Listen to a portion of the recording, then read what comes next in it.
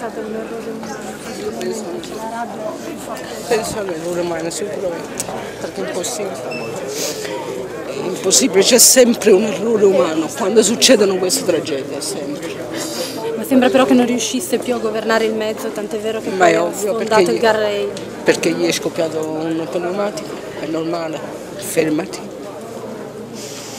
C'è modo e modo. Quando aveva sentito suo fratello l'ultima?